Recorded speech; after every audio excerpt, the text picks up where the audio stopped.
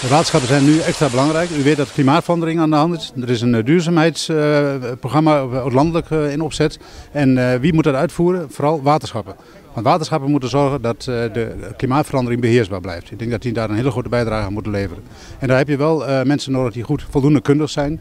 En die ook eh, progressief denken, want er moeten echt behoorlijke stappen gezet worden in het eh, beheersbaar maken van eh, de te lange droge periodes en de hoge hittes. Maar ook in het klimaat in een stad waar alles versteent is het nodig dat daar stenen uitgaan en dat het water weer in de bodem kan zakken. Zodat die enorme grondwaterstandverlaging die we als gevolg van de droogte van vorig jaar gehad hebben, dat dat niet meer gaat voorkomen. Dus daar moet echt duurzaam waterbeheer gepleegd worden. En daarvoor ben ik dan kandidaat voor het team Water Natuurlijk.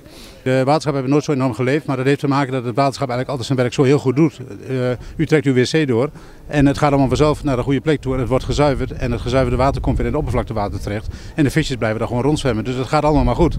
Alleen toch zijn er heel veel verborgen problemen. Onder andere met hormonen, eh, medicijnen, al dat soort restanten die allemaal in het oppervlaktewater terechtkomen. En daar moet nog een enorme zuiveringsstap gemaakt worden. En zuivering is ook een belangrijke taak van het waterschap. Er gaat heel veel geld naartoe en de burgers betalen er allemaal aan mee. En, ja, en daar moeten stappen gemaakt worden. Want kijk bijvoorbeeld naar amfibieën.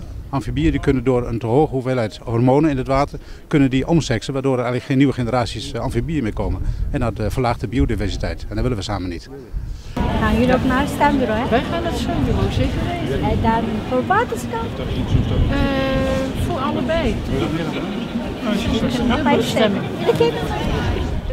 Nou, als je praat over klimaatverandering, ik denk dat de media eens een keer moet uitleggen dat klimaat wat anders is dan weer. Klimaat is een gemiddelde van 30 jaar weer.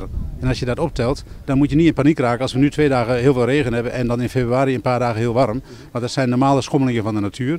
En uh, die kunnen elk jaar wel een keer voorkomen. Het kan ook weer een aantal jaren niet. En die droge zomer van vorig jaar kan ook weer een paar jaar niet. Maar als je alles bij elkaar optelt, dan is de laatste 30 jaar wel heel langzaam een tendens te zien dat het steeds wat warmer wordt. En dat is wel beangstigend, want als het warmer wordt krijg je ook weer meer waterverdamping, grotere plensbuien. Dus dat, dan heb je wel een probleem met het huidige rioolstelsel onder andere en met het slotensysteem. Dat, dan dat dat allemaal weer groter gemaakt moet worden, anders ingericht. Dus we, blijven er wel mee bezig. Ja.